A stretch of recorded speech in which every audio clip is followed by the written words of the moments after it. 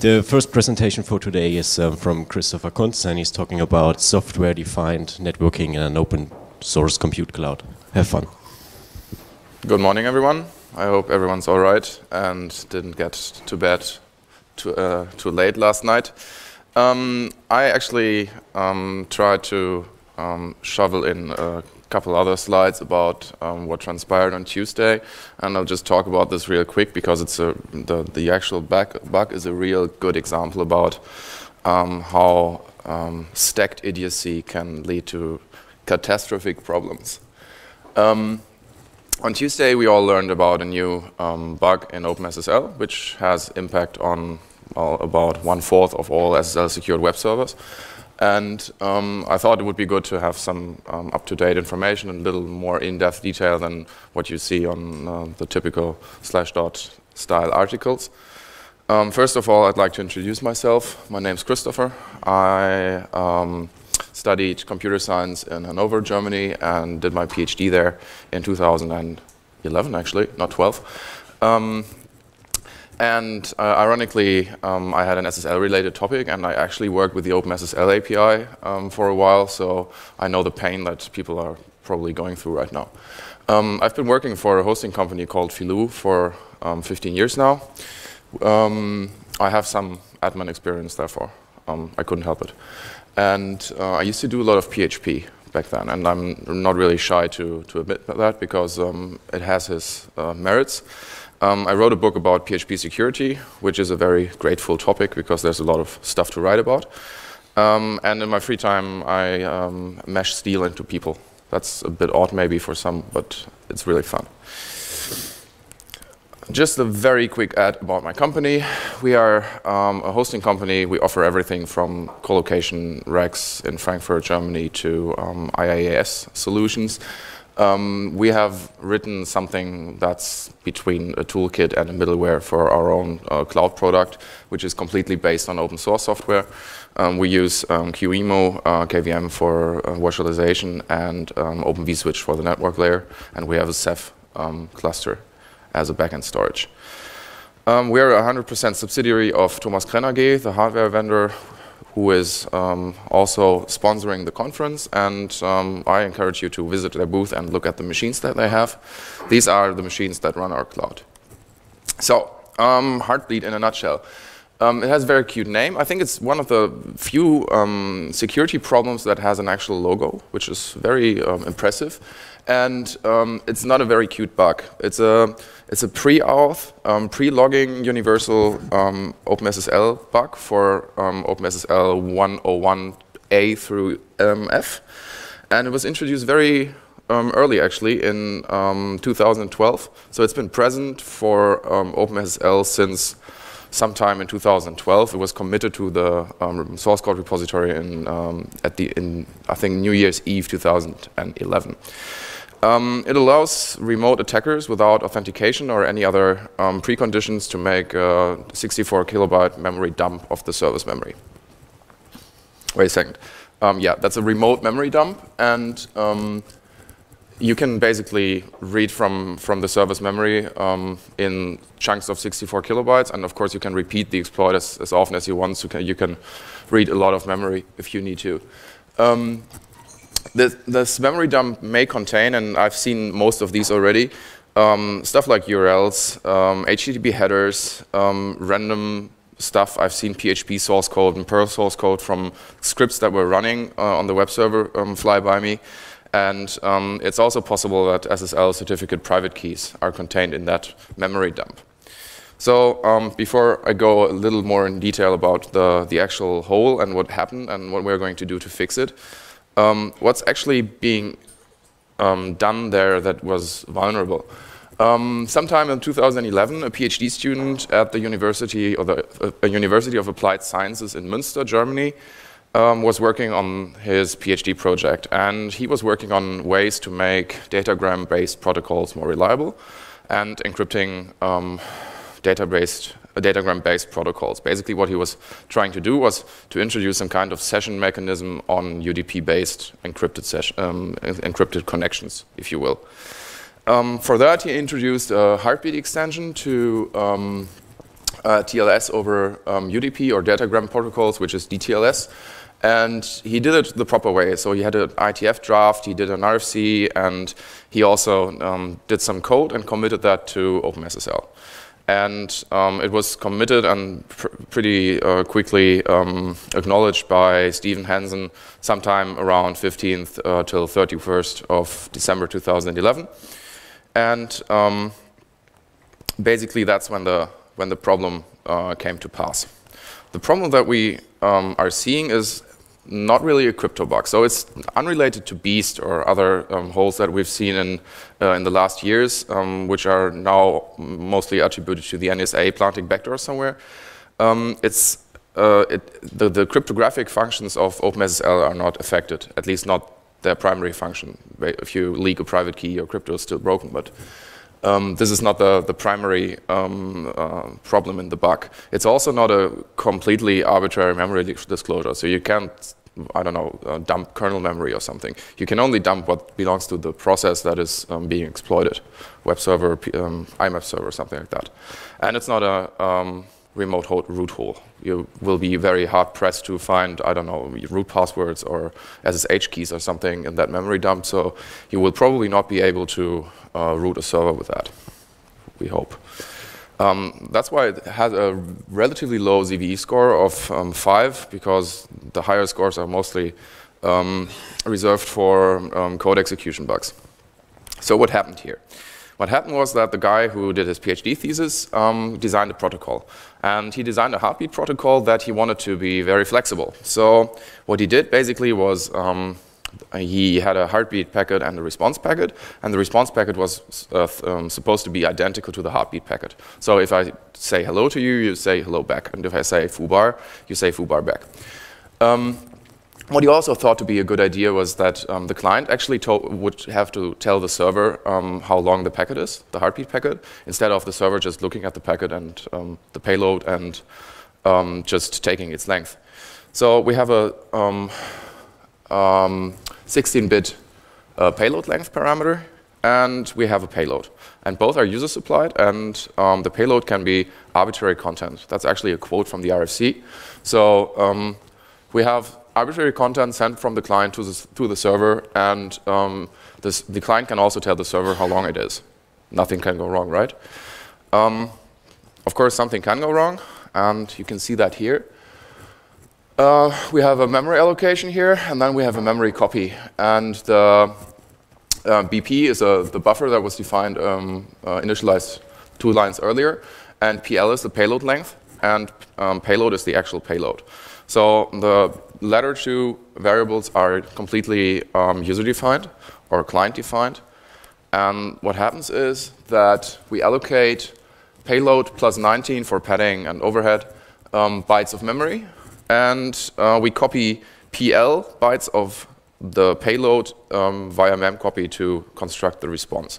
Actually, what they, he was trying to do was basically copy the um, payload one by one to, um, to the response packet to have identical payload and response um, payload, um, request and response payloads. So what happens is that the client sets the payload length to 64K um, and only sends one byte of um, actual payload in the um, heartbeat packet. And that, what happens now is that the mem copy still copies 64 kilobytes of memory, but only one of these, one bytes of these is actual heartbeat payload, and the rest is memory from the um, surrounding process. So this is what went wrong, and this is what happens if you test the vulnerability. There's a couple of uh, web scripts to run. There's um, lots of Python um, proof of concept scripts, and there's probably also a Metasploit package or a Metasploit module right now. Um, one of the more popular scripts is um, uh, one that you can download from um, GitHub, and it can test any um, TLS-enabled TCP service, no UDP yet. Um, it, does, it also has support for StartTLS, so if you have um, FTP or um, SMTP services, you can, start, um, you can test that too. Um, it conveniently dumps the full 64K of memory for you if you test and the, the server you're testing is actually vulnerable. And this looks like this is one of these moments where alt tabbing doesn't work. Yeah. Um, this looks like this. I basically um, obscured the host a bit to protect the innocent, but I actually found a couple ones that are still vulnerable. And um, what happens here is that the script um, starts in a TLS session and sends a heartbeat request with the um, values that I just uh, talked about. And what comes back is basically memory dump. This is a full HTTP header. It's probably a TYPO3 installation. So this is the user cookie for uh, the TYPO3 front-end user. And um, there are Google things here, and um, there's a PHP session ID here. So basically, if whatever happened in this request that I'm, that's being dumped here um, was done by an authenticated user, I could just go go ahead and steal steal their session. So that's not really good because in my tests um, that I did yesterday and the day before, I also saw I don't know whatever you transmit over the web. I saw contact forms. Um, private um, uh, information for, for customers, stuff like that just flies by in clear text because obviously memory contents cannot be encrypted. So um, it's, it's pretty catastrophic. Uh, this is one of the this is one of the screenshots that circulated on Twitter where people actually exploited Yahoo, and that's um, Yahoo Mail. You can see in the lower three lines that someone was logging in with a with the username Agnes Sadu Boateng, and the password is obscured.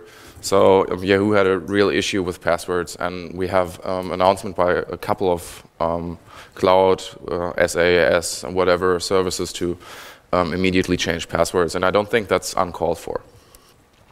So if you dump memory here, um, the, what, what, you see is not deterministic. So um, right now, I think the, the opinion is that you cannot um, calculate what kind of memory you get in return. So you cannot force the server to dump its certificates or private keys and stuff like that. Um, most of the stuff is boring. It's just garbage. Or sometimes um, I, I, saw GPL licenses fly by, so basically from some kind of script headers, I guess. Um, you can just uh, put up an endless loop and um, dump stuff there and um, put it into an out file um, people are not going to see what you're doing because it's, it's pre-logging, so you don't see anything on the web server logs.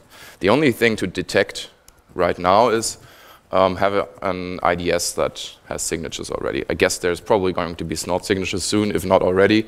I know that Juniper already um, updated IDS signatures, so um, you can detect this, of course, if you look into the TCP packets. Affected services are, above all, SSL-enabled web servers that run OpenSSL 101A through F, um, but also uh, mail servers, IMAP over SSL, um, POP3, if anybody still uses that, SMTP, um, SMTP via StartTLS is also vulnerable as long as the vulnerable OpenSSL libraries are used. Um, OpenVPN is maybe vulnerable, people weren't sure yet. They um, released new versions um, also for the commercial OpenVPN product yesterday. Um, maybe other VPN products, probably Cisco is vulnerable. Um, IRC has a problem, IRC over SSL, um, XMPP, um, FTP over TLS is also uh, potentially vulnerable. There's also a vulnerability in Android 4.1.1 because that's the only Android version that ships OpenSSL with the right version and also with heartbeat with a heartbeat function enabled.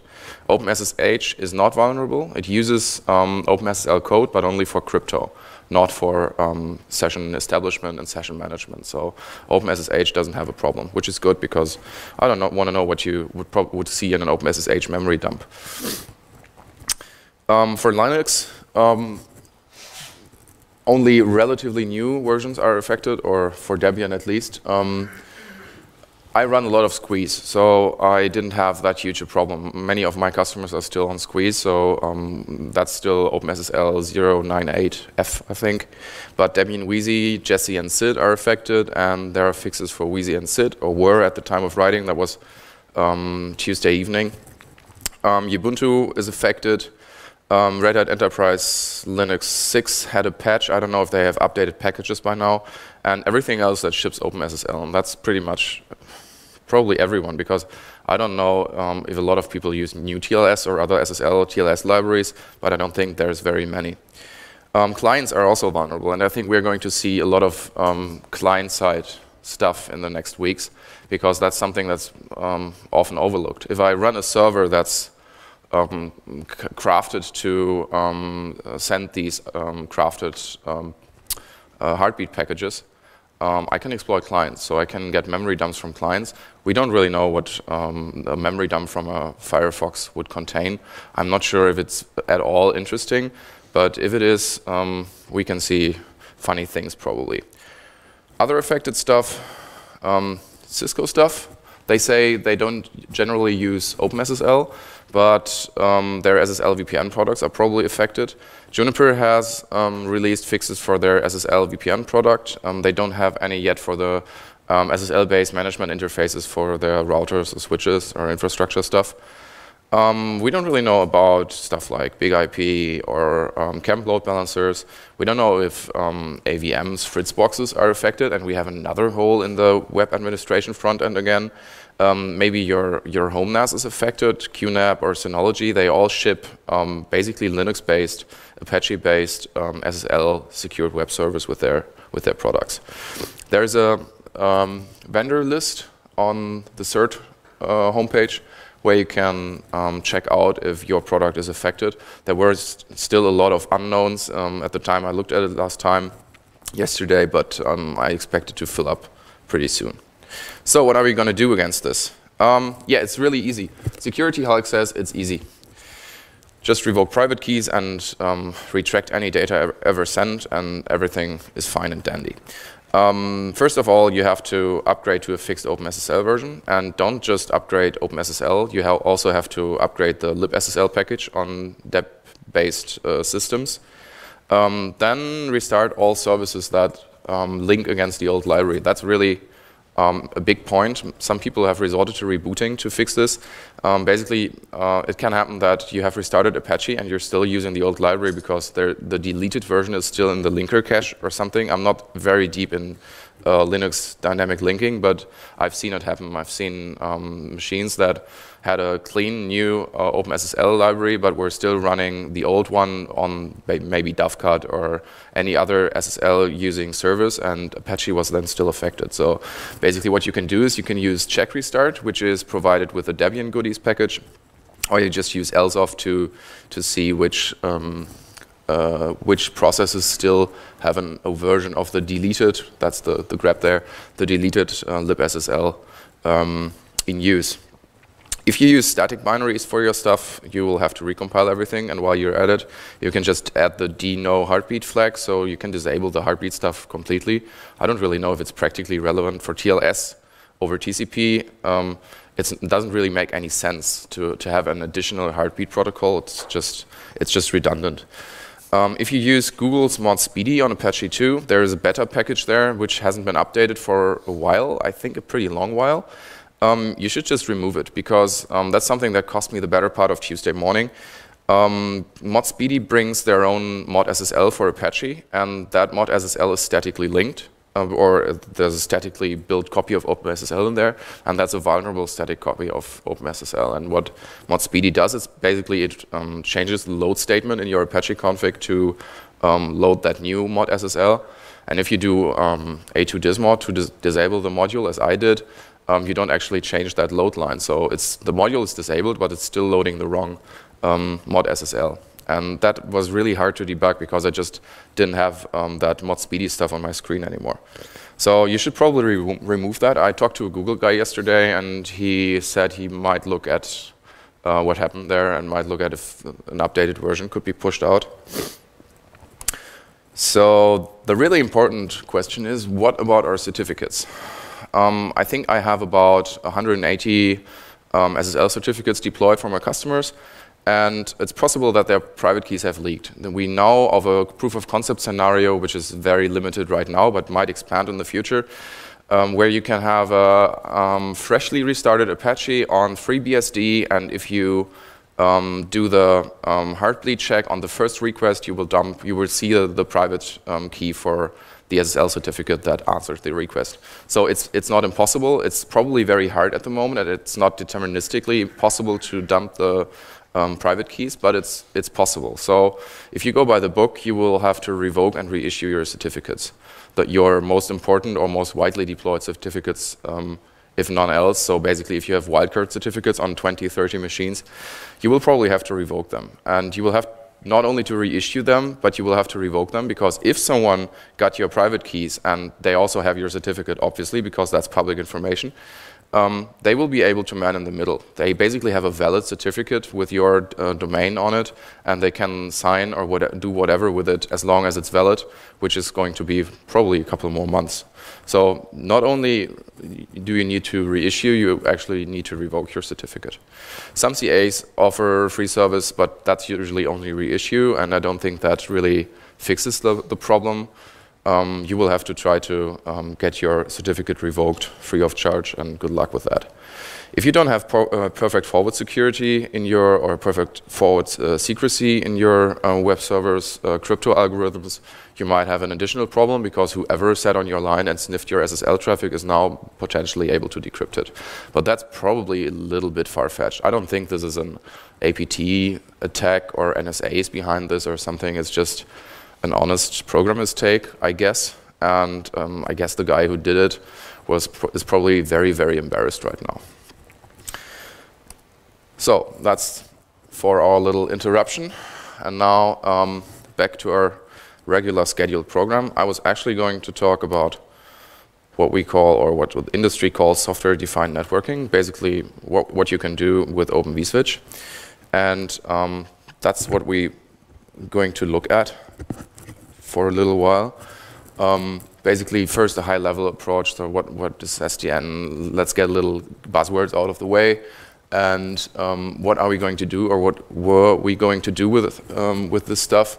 And then I'll have an uh, introduction for Open vSwitch and tell you how we deployed it, which is probably not the best practice, but this worked for us. Um, then um, differentiation between front network, back network, public network, firewalling, and then tying, trying to tie it all a little bit together. So what are we talking about here? Software-defined networking is something that's been circulating for, I don't know, two or three years now as a, as a buzzword. And um, it's being very heavily hyped with competing standards at the moment. And um, I don't really like those hype buzzwords because normally they are just hiding something that we have been using for, for years and um, they just give a little shiny package around it. Um, what we do here is basically we decouple the actual networking decisions from the bare metal that has the networking ports.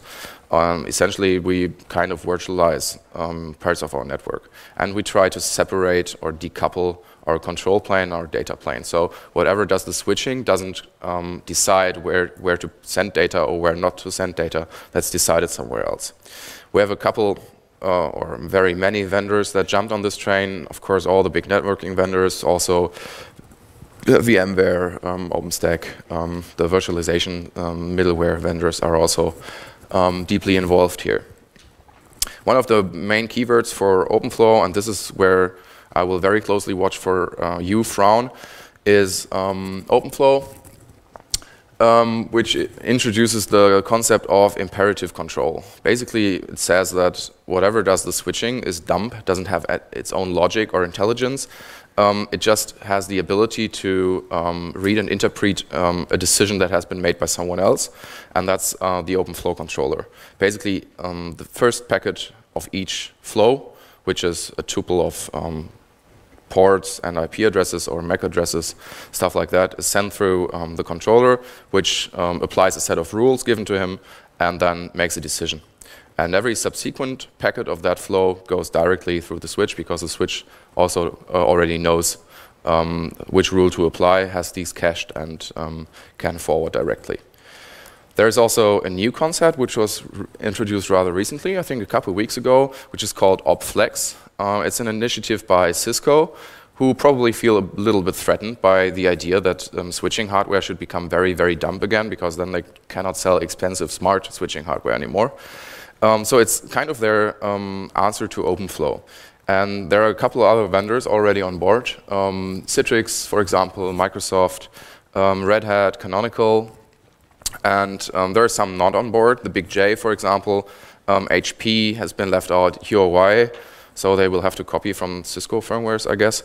And uh, VMware is also not uh, collaborating on this standard. Um, the idea behind OpFlex would be that um, you do not do what is called imperative control, but declarative control.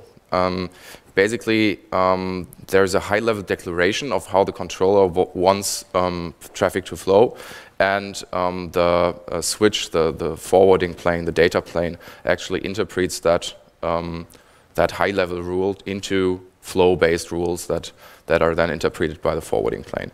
Um, it's a proposed standard um, for IETF, uh, which is uh, downloadable via the uh, usual channels.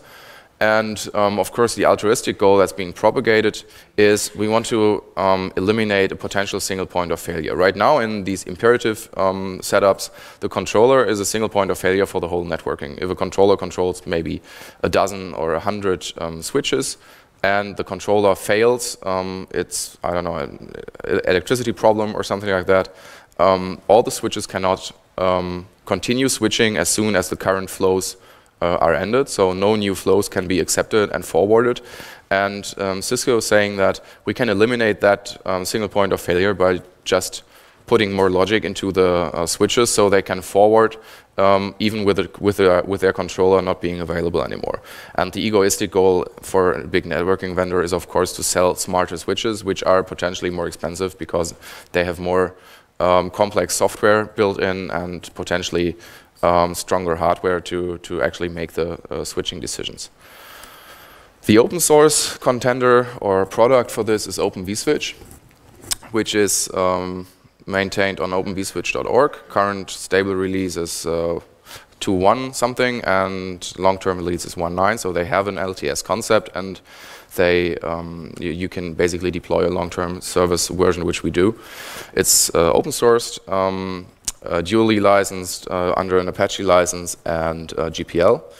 Um, the Apache's part is the controller, and the GPL part is the kernel module that does the data path. So um, because it's part of the kernel, it has to be GPL. Um, but the controller is under a non-viral license. Um, it's a multi-layer switch, which can switch on layer 2s and 3, for example, and it supports a lot of interesting features, of which I'm not using, I don't know, a fourth or something. Um, we're probably not using one-tenth of the potential of Open vSwitch in our setup, and I guess there, um, it has something for everyone. So it supports VLANs, of course, but also supports NetFlow and SFlow for traffic accounting. Um, you can do LACP like you would with any regular switch, and you can also do um, filtering on uh, layer 2 and 3.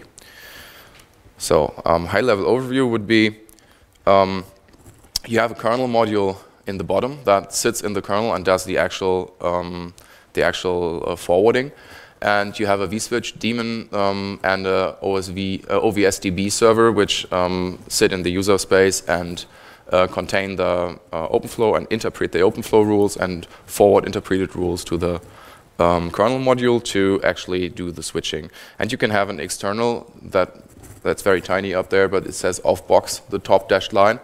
Uh, you can have an external control cluster which um, basically does all the uh, decisions externally and um, manages a whole um, a spread network.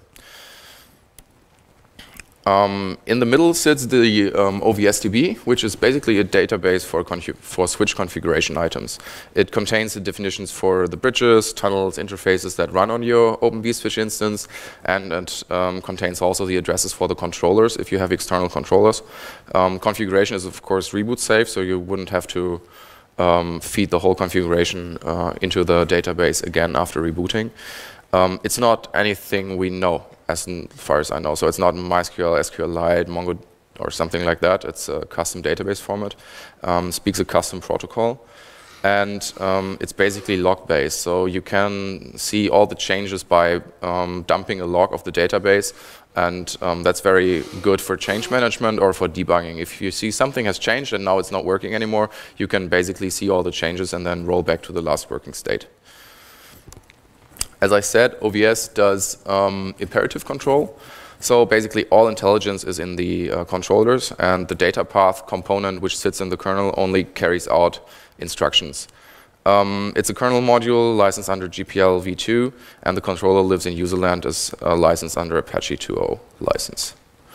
So graphically, this looks like this. Um, the concept is that everything is a flow, so um, a combination of input and output ports, TCP or switch ports, uh, VLAN, MAC addresses, IP addresses, TCP and UDP ports on layer 3 can um, define a flow. And the more defined a flow, the smaller it usually is, or the, the less packages it has, and the um, less ports or um, forwarding decisions it would match.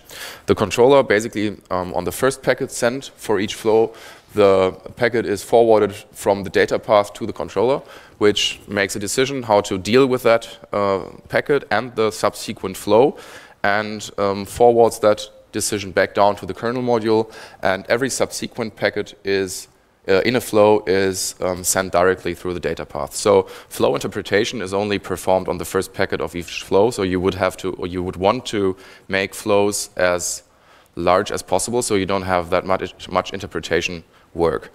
Um, the kernel module has a cache where basically there's a hash table of um, flow IDs to um, forwarding decisions, so it doesn't even have to um, look up the decisions anywhere else. It just can um, use cache decisions and is therefore rather fast. There's a set of um, command line tools which we use for uh, managing our setups. I guess there's many smarter ways to do that, but that's how it worked for us, and we tend to never change the running system.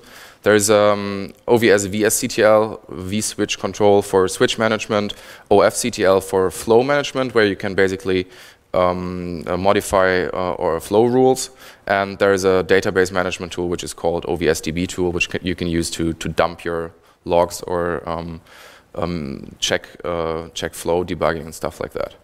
So our angle here is, of course, we are a hoster, and it was our goal to host a public cloud. So we wanted to have an IaaS product offering that, based on um, open source software, can uh, be used by customers to host VMs with uh, a couple of features. And first of all, the VMs would need networking.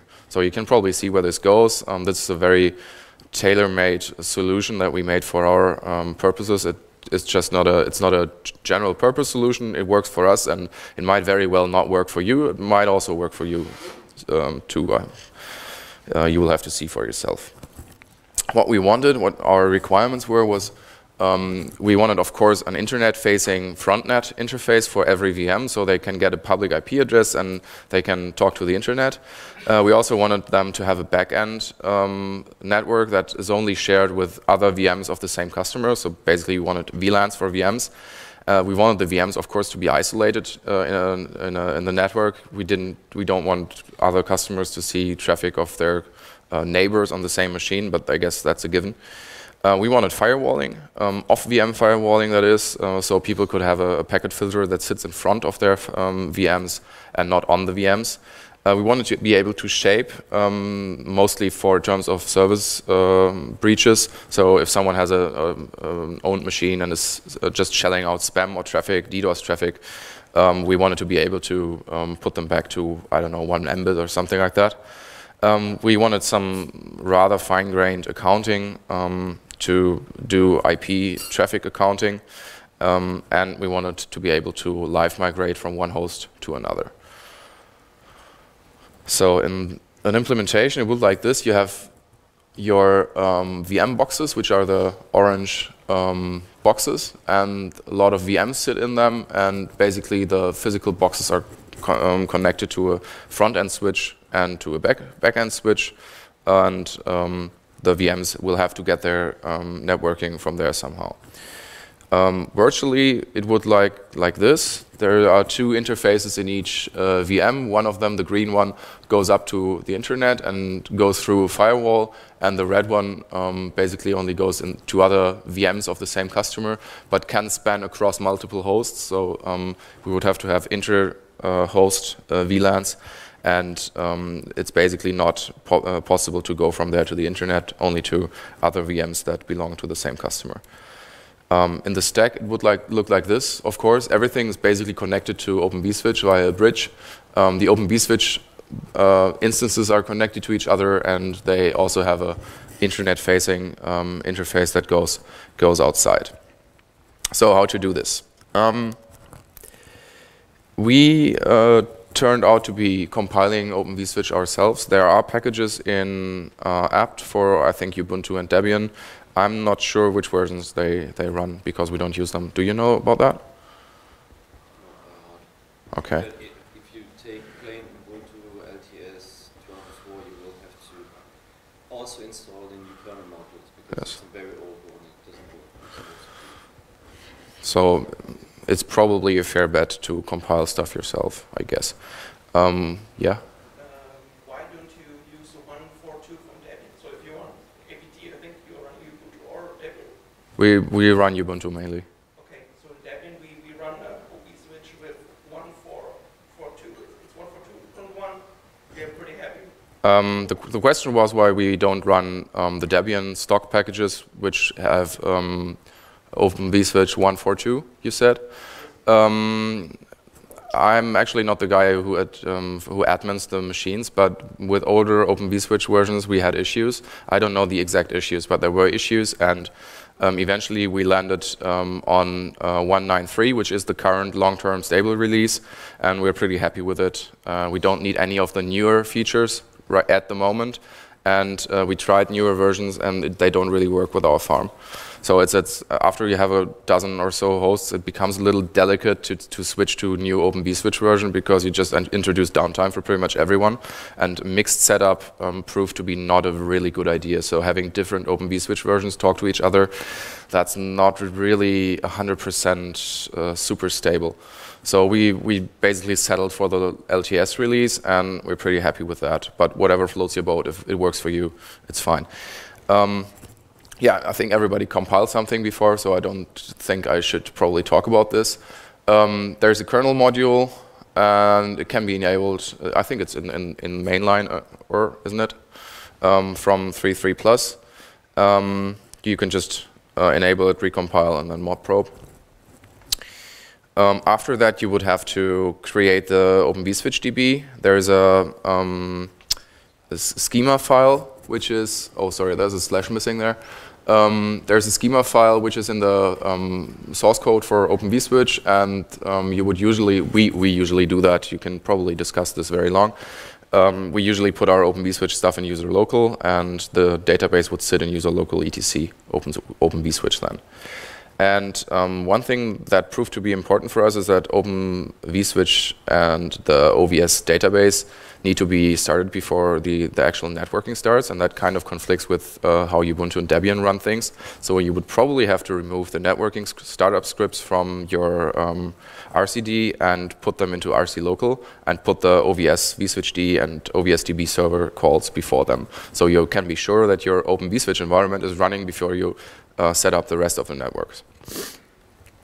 Then initially, uh, we start bridging. Basically, we do a lot of bridging and we do a lot of tapping. Um, first off, uh, the examples would be we have a frontnet um, VLAN, basically broadcast domain for maybe um, 100 VMs at a time or something, and the VLAN ID would be 199. So basically, we tell Open vSwitch to add a bridge on VMBR1, and we tag it with uh, VLAN 199. And then we log into our machine via some kind of out-of-band control, IPMI or something like that, because we're going to lose networking. Um, so we add the port to the add our Ethernet port to the bridge, and we see the machine drop from the net because um, it has the wrong VLAN tag on the main Ethernet port now. So we then go to our switches and make the VLAN known to the uh, physical switching port, so the machine comes back online. Um, for VMs, we uh, use tap interfaces, like probably most people do. Um, we, we run KVM QEMU, so you see a QEMU call here for starting the machine. And um, basically what we do first is we add a tap device and um, own that to the user who runs our middleware scripts. And then we start up the um, QEMU instance.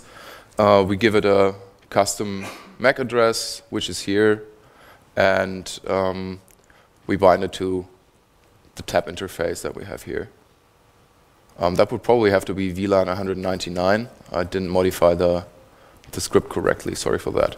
After that, you can um, bring up the port, and you don't. Uh, you have a you have a running tap interface now um, that runs or that that uh, connects to the VM, And now you will have to find out on which actual Open vSwitch port it runs. So basically, we want to see from the tap interface wh where the virtual cable connects to the virtual switch.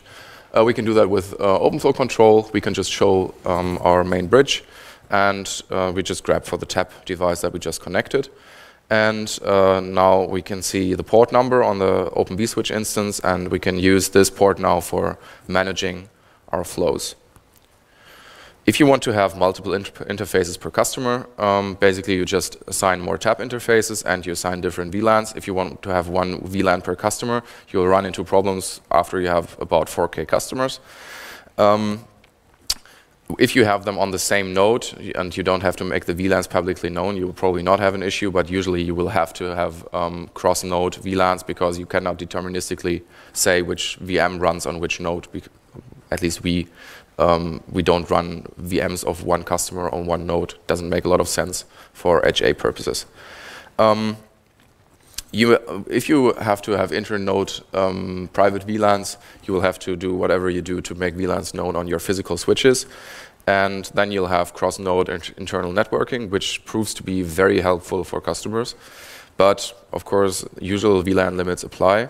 So something that Eve will probably talk about are overlay networks. Um, he's going to have his talk at 4 o'clock, I think, 5 o'clock. Um, he's going to talk in depth about OpenStack networking and is probably going to refer also to um, the rescue here, which would be overlay networks, stuff like VXLAN or something, which we currently don't use because it's not present in our Open vSwitch version. Open vSwitch 193 doesn't have VXLAN. I think that's a 1.11 plus or something feature, or relatively recent. So we don't, we're not currently able to to use that, um, but we probably will have to evaluate it pretty soon. So now we have um, an interface which is connected to virtual switch port, and that port number was 1820.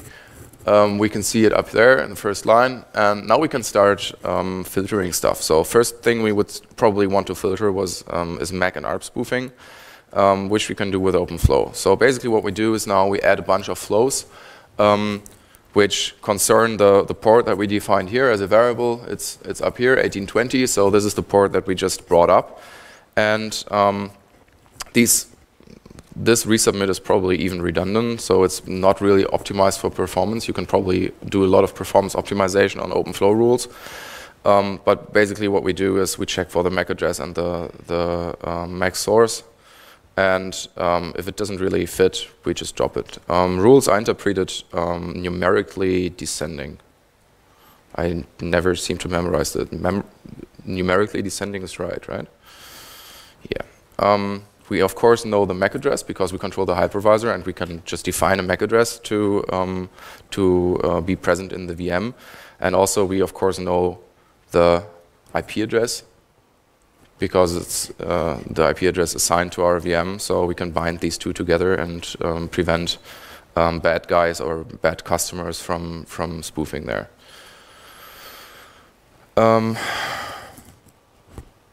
That would be ARP spoofing. I think, or maybe I just copied the wrong um, wrong slide. Um, there's a couple of caveats for that. Sometimes uh, you actually want customers to be able to spoof because that's one of the features that you would use for stuff like ZRMMon um, or other um, Linux HA solutions to hand over the virtual IP addresses. And we have a couple of customers who run HA clusters across our um, uh, cloud cluster, and they have VMs that sit on n different nodes, and each VM sits on another on a different node than um, its uh, counterparts. And um, th these people have to ha be able to bind a second IP address um, to the MAC address. And um, uh, if you uh, want to cater for this by design, you can just um, assign uh, sequential MAC addresses to IP address uh, to uh, from the same customer. So you can have a uh, per customer MAC address pool and you can assign them sequentially. Then you can use wildcarding in the OpenFlow rules to um, actually um, apply the correct filters. Or you have just you just have to set additional rules to cater for the cluster um, or virtual IP address, however you want to to, to call it. Um, you should probably never allow customers to enter their own rules anywhere, um, but I think that's a given. So this is um, another, um, now we're moving a TCP uh, to TCP, so we're moving a layer higher This is another um, OpenFlow example where you can see that we are now actually um, doing packet filtering. So we have a um, we have a rule that um, defines traffic between 192, 168, 1, 1, 2, 3, and 12, 13. Um, and the destination port would be 18, HTTP, and we don't want anything to uh, happen there, so we drop traffic. It's a very specific, very straightforward, very simple, simple rule, which effectively um, blocks traffic to port 80. You can also use port ranges here. That's a slightly more complex thing here. Um, the port range would be here. These are um, hexadecimal bit masks. So basically, um, what you do to calculate the port mask is um, you use um, like CIDR masks uh, only for ports. And what we do here is we um, drop traffic from ports 1512 to 1516. From Open vSwitch 1.11, um, there's wildcarding for pretty much everything. You can wildcard MAC addresses, you can wildcard um, TCP, UDP ports, and um, I think this concept is called mega flows because you do what I said initially, you dr drastically increase the matches for your flow um, setup. So basically, um, what we see here is a definition for one flow, and it concerns uh, traffic between a, 20, a, slash 24 network and a slash uh, 32 IP address on four different flows. So the, the data plane, if it sees traffic come to one of these ports, only has to um, cache one flow rule, not four of them, or uh, 256 for the whole slash 24 network. It's just one flow, it's one rule, and one cached entry. And that makes everything, of course, a lot less memory dependent. And for large networks, it would probably scale really, really well. But you, of course, you broaden your matches, which is not a problem for a drop if you want a lot of security anyway, but might be um, a problem for permissive rules.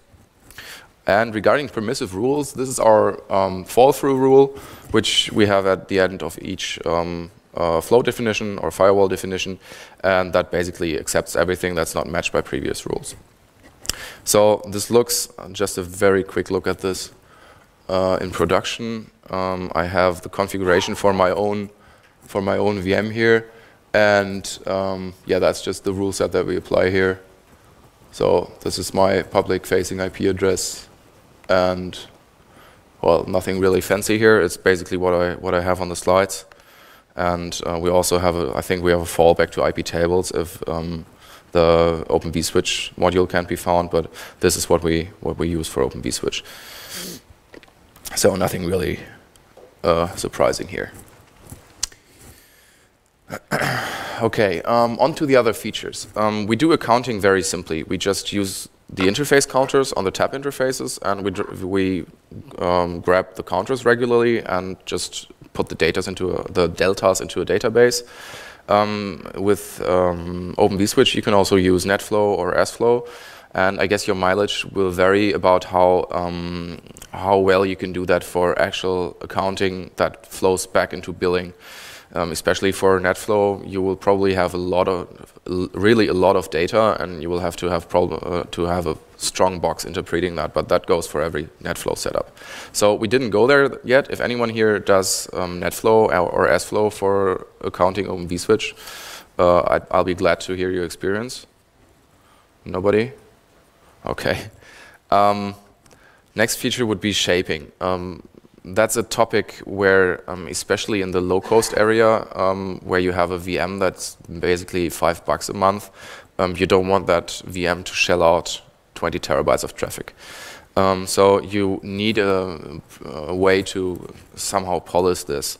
Simply um, put, you can basically go ahead and just um, do um, ingress policing, and you can just limit the overall data rate. So basically, you can say this is now a 10 Mbit interface, not a gig E interface anymore, um, which is very close to um, the Linux shaping uh, syntax. You have a normal flow rate and you have a burst rate, which goes on top of the flow rate. So those, these are additive. Um, you can also have very um, complex um, QoS, which basically um, does Lin Linux HTB, and um, you can configure um, very, very uh, fine-grained how you want to apply quality of service parameters to your cloud. again, we don't do that. We, we do shaping occasionally uh, for customers that um, fall out of the fair use policy, but um, and that works mostly as intended. But um, we don't do any complex QoS. So if anyone does that, um, does OpenStack networking support that out of the box? Is there ways to do that in OpenStack? It depends on the plugin you use. Okay. But um, the normal plugins we have at the moment. Okay. Good. Um, so shaping for just bandwidth shaping is rather simple. Um, complex stuff can also be done, and um, you can basically do QoS on I don't know port 80, or you can you, you can shape BitTorrent traffic or whatever you want, and um, that's also supported by OVS. It's a bit tricky, I've read, but uh, it's possible. Um, regarding live migration, um, OVS has has support for um, live migration by establishing a GRE tunnel between the OVS instances on the receiving and the losing host. Uh, what we basically do is we um, we start the VM up in suspend to RAM mode on the receiving host and stop the VM on the um, losing host down the interface and then bring it up again. And we have rather short uptime also that works. Um, there are live migration mechanisms in OVS. Again, we don't really use them. So if anyone has experience, I'm just looking at OpenStack again. Um, I'd be happy to hear. Um, we, do a lot, of, a lot of things until we find a working solution, and then we tend to stop looking at them because as, as soon as it works in production, um, it's probably uh, fair enough to, to continue using it and uh, we are very sensitive about our um, uptime. So it's out of the question to um, update to a new OVS version just to have this and that feature. It's that's not really in the in the picture for us at the moment. So um, the the layer two based um, live migration mechanisms that exist in OVS, I don't really have a clue about them. So. Um, there's a couple of very good presentations about, um, uh, uh, among others, these features, which are in the link collection at the end of the slide. So if you want to clue yourself up, either you can look at that or you can look at Eve's um, session at 5 p.m. So that concludes everything. I think we're just on time here. Thanks everyone. I hope you learned something, or you could just laugh to yourselves uh, on my expense. And if not, uh, well, I will, would buy you a beer, but it's 10:25 uh, a.m., so that's maybe a little early. But if you have any more questions, just feel free to shoot now. Yeah. You talked about the single point of failure, failure in the controller. Yeah. Uh, that's a good question. Um, we don't have the problem because our layout is different. Um, just repeating the question, um, I was asked how big the single point of failure problem for uh, failing Open vSwitch controllers is. Um, we basically co-locate the controller on the machine that runs the Open vSwitch instance. So um, there's not a many, lot, not a lot of failure scenarios. The the process could crash because of out of memory or because of reasons. Um, then you would have you would um, have to restart networking pretty soon, or you will lose connectivity on the instances. Uh, yeah.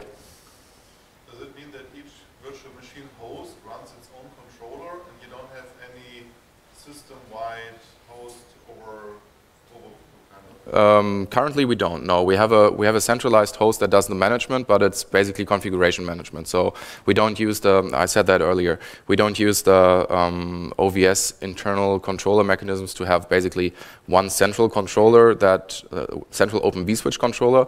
We have a cent we have a central machine that basically manages the configurations, and we manage currently manage everything by uh, configuration file and not with a central controller. So we don't have that failure scenario, but that wasn't intentional honestly. Um, we just uh, felt it to fit into our workflows better and to our deployment workflows better.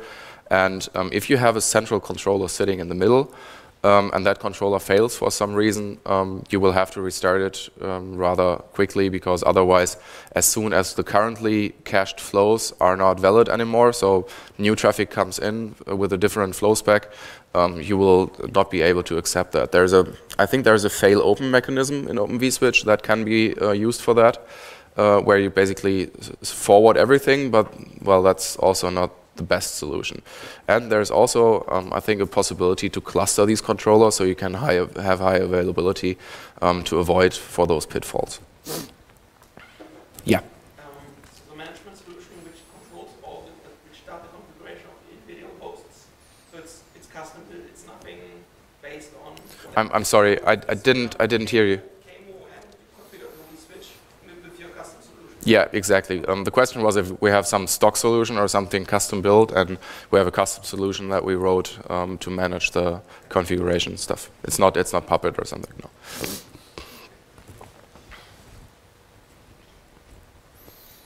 Okay. Any more questions? Yeah, in the corner. And do, do you happen to know if it's possible at all to spread out the controller part of, of Open vSwitch, or if it's if it has to be a single machine? Uh, as far as I know, you can cluster it um, somehow. It doesn't have to be a single machine. Correct me if I'm wrong. It doesn't have to be a single machine, and you would be able to spread it out.